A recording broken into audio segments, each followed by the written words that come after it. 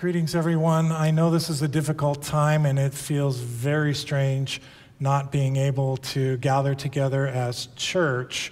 Uh, but we also need to realize that uh, the bonds that we share as the body of Christ extend beyond physical space, that we can always be together in spirit.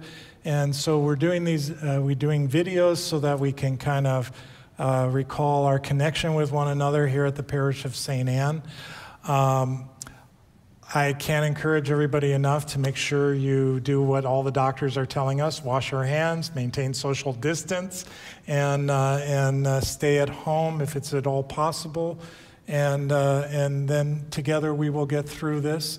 And let's also pray for the doctors and the healthcare givers and the scientists who are working on trying to find a vaccine for this disease.